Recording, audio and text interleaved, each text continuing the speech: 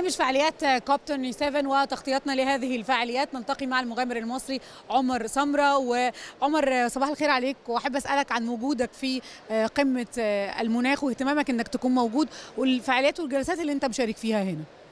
طبعا سعيد جدا إن الكوب يعني مقامة في مصر المرة دي أو أول كوب ليا. أنا بشتغل في أو يعني انفولد في مجال المناخ من أكتر من 10 سنين. ويمكن لما بدأت كان القصة دي مش يعني الكلام عن المناخ عامة أو البيئة ما كانش حاجة متداولة قوي في المنطقة عامة مش بتكلم على بس مصر. فكان ليا مشاركة في ثلاثة panels النهارده كان كنت بتكلم في النقطة التقاء التعليم والمناخ وإزاي الحاجتين دول ممكن يكونوا متواصلين مع بعض.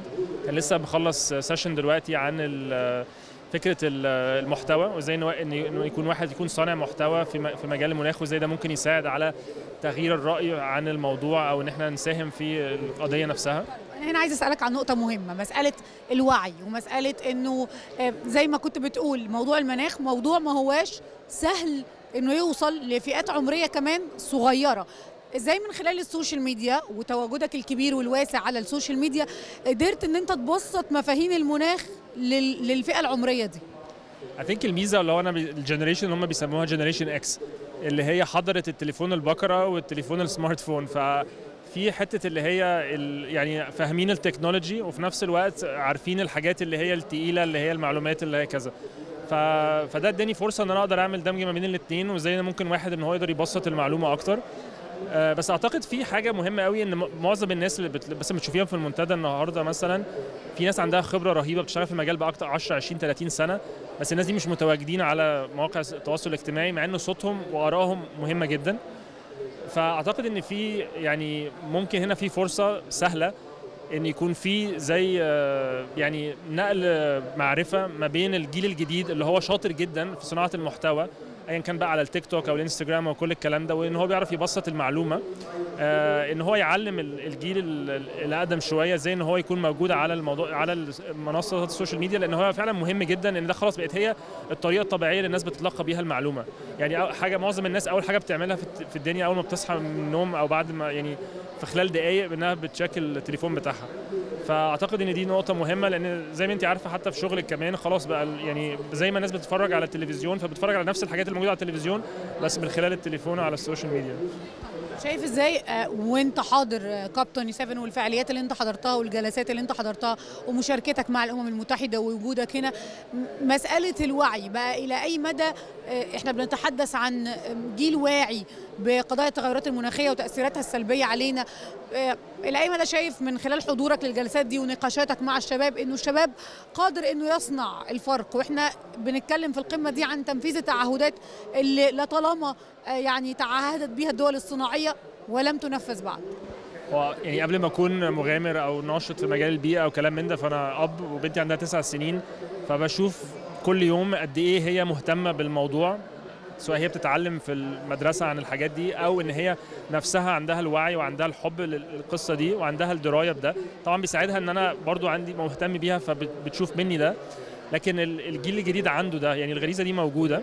لأن أنا كنت بقول دايما عشان نقدر إن إحنا نحمي الطبيعة لازم الأول إن إحنا نحب الطبيعة ونقع في غرامها. وده مش هيحصل غير لما الناس تكون ليها ليها تجربة في في الأماكن الطبيعية ومصر مليانة يعني ولا بنتكلم على البحر أو الجبل أو الصحراء أو كل الكلام ده دي هي البيئة بيئة الإنسان عامة. بس ده يمكن الحياة المدنية والحياة اللي هي الزحمة قوي والمشغولة قوي بعدتنا عن ده.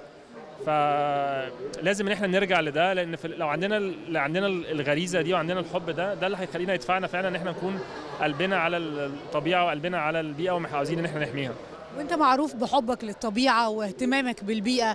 أعتقد إنه كمان أنت كان ليك تجربة وعملت شركة سياحية ذات انبعاثات صفرية.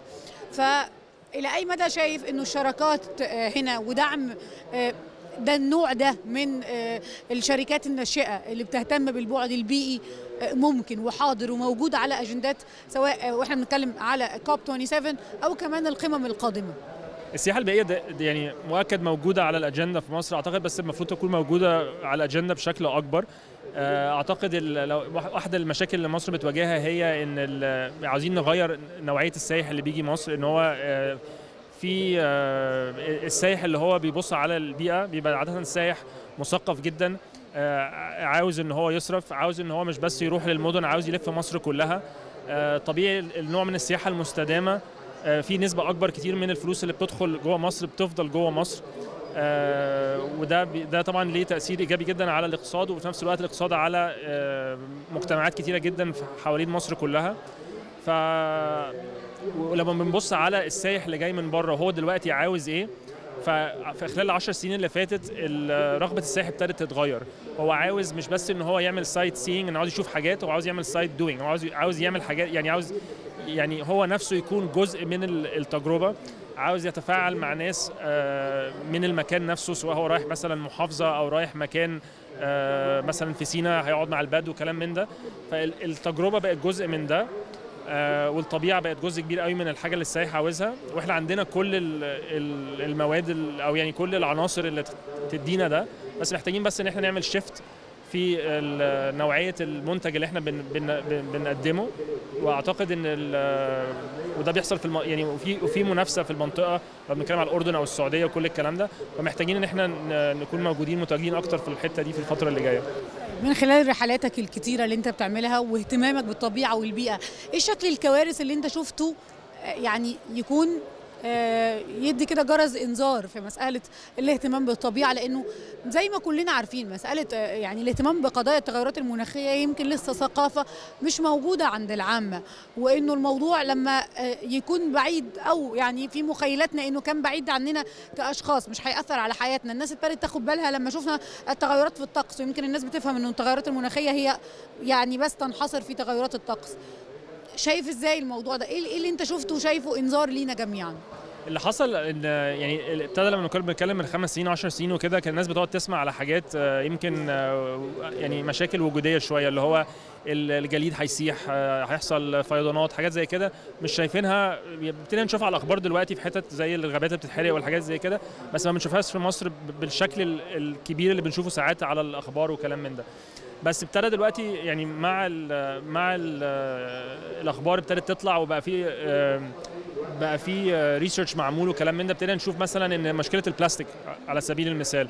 ابتدى إن ال- البلاستيك لما بيتكسر بيتحول إلى nano plastic. بقى في دلوقتي إحصائيات بتقول لك إن ال- البلاستيك اللي هي ال- ال- ال- الاجزاء البلاستيك اللي هي ميك- ميكروسكوبيه موجودة في بطن الأم آه، وموجودة جوه الجنين وهو يعني ف ال- ال- ال- البلاستيك وال- والتلوث ما بقاش حوالينا فهو بقى ممكن بقى وصل إن هو بقى جوانا. فدي دي حاجات لما الحاجة بتمس صحة الناس وبتمس صحة ولادهم فالناس بتبتدي إنها تنتبه. وده حصل في الفترة اللي فاتت. فأعتقد ده اللي هيخلي الناس يبقى عندها النزعه أكتر إن هي آه، تفكر أكتر. والحاجة المهمة قوي في الآخر إن المشكلة دايما بتيجي إن لما واحد يقول طب أنا أنا هعمل إيه؟ أنا واحد شخص إيه اللي أنا هعمله؟ مش هيعمل أي فرق. أنا سلوكي كفرد يؤثر في إيه؟ في مسألة التغيرات المناخية. بالظبط. لكن في الحقيقة هي بتعمل فرق لو إحنا بصينا على الأفراد فهنلاقي إن ال إن ال العبء اللي يمكن ال- الفرد نفسه كولكتيف بقى على على مستوى مصر كلها على مستوى الكوكب كله جزء كبير جدا نسبة كبيرة جدا من ال- ال- المشكلة. ففعلا إحنا ممكن نغير وممكن التغيير ده يعمل فرق. فهي هي هي في الآخر خالص هي شراكة ما بين ال- الفرد نفسه في اللي هو بيعمله جوه بيته ما بين القطاع الخاص ما بين الدولة.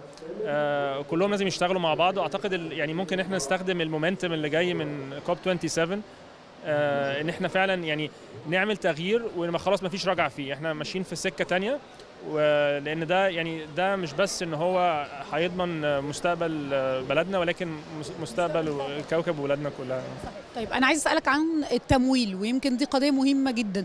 اللي بيعيق آه، يعني مشاريع ال- ال- اللي ليها علاقة بالمستقبل الأخضر أعتقد المشاكل كلها تنحصر في مسألة التمويل. إلى اي مدى شايف إنه آه، وجودنا هنا في كوب 27 آم، ك- يعني كل الشركات الكبيرة اللي موجودة جهات التمويل اللي موجودة آه، النوع ده من من القمم. إلى اي مدى وخصوصا وإحنا بنقول آه، قمة كوب 27 هي قمة التنفيذ. إلى اي مدى ده ممكن أن يحقق بالفعل وإنه الشركات دي تدعم هذه ال- الأفكار الخاصة بالمستقبل الأخضر اللي منها أفكار كتير شبابية أفكار كتير واعدة أفكار كتير لما تقدم لها التمويل المناسب بقت بتحقق مكاسب اقتصادية. مظبوط. أنا قبل ما أشتغل في مجال السياحة كنت بشتغل في مجال الاستثمار والبنوك. ده كان بداية الكارير بتاعي.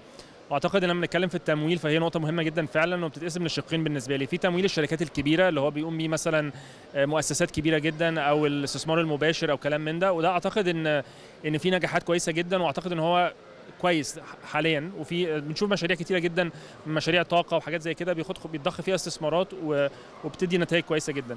أعتقد المشكلة أكتر في المشاريع الصغيرة والمتوسطة. يمكن ال ال الشخص بنقول دايما إن الحاجة هي وليدة الاختراع.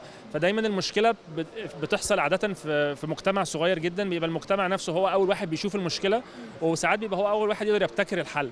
فبيبقى عاوز إن هو دعم وعاوز إن هو تمويل بس بيبقى مع يمكن ما عندوش ال ال القدرة إن هو يعرف إن هو يوصل للشخص الصح أو ساعات بتبقى الفرص مش موجودة. فمحتاجين يكون في فرص لمنح أكتر أو يكون في قروض بس ب interest rates قليلة جدا. فتقدر إنها يعني تحمس المشروعات الصغيرة والمتوسطة إن هي تلعب دور لأن هي الفكرة كلها زي ما قلنا إن هي في الآخر الشراكة. هي مش مش هنقدر نوصل لبر الأمان مجرد بالمشاريع الكبيرة ولا الصغيرة فقط. هي لازم على على كل ال spectrum كله من مشاريع صغيرة متوسطه لكبيرة. صحيح. إحنا بنشكرك. شكرا جزيلا. عمر سمر على وجودك معنا. شكرا جزيلا.